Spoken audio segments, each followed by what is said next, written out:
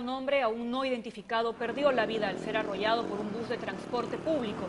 Según la policía, el sujeto fue atropellado por no usar el puente peatonal que estaba a unos cuantos metros de distancia. Otra versión asegura que la víctima trataba de escapar de un asalto.